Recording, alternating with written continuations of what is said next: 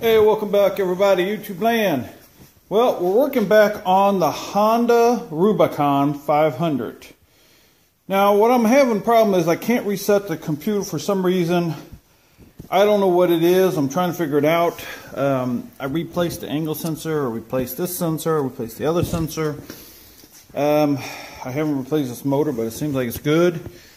It keeps coming up with code 6. And I don't know. It, it, who knows what it can be here? We're trying to figure. I'm trying to figure this out. What what the problem is? It it could be that thing. I I mean that could be out of like I don't know what it is. So what I'm going to get into is I want to get into change out the ECU. I got uh, the the computer. I have another computer. I'm just going to swap it out and try it on another bike that works fine.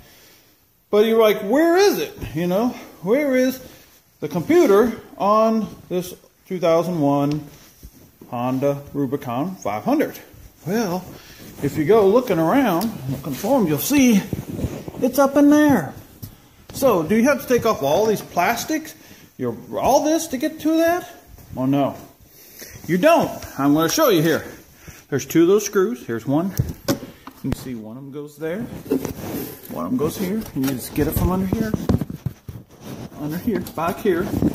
Unscrew it. And then just Pull it down. There it is. See? Worked out great. There it is. Pull that out. We'll put the other one in and see how it works. But hopefully, um, if you have an issue with this, trying to find it, here it is, and how to get to it without taking all the plastics off. That'd be a big rigmarole to try to do that, wouldn't it be hard? So, this is on the Honda Matic uh, 500 Rubicon. 500. So hopefully this helps somebody. This is a little tip. Hey, if you want to see more, always got something coming on. I find something that uh, I find figured out. Maybe you don't have to figure it out so hard. I figured it out for you. There might be on my channel. Hopefully I can help somebody. Everybody, take care. Have a good day.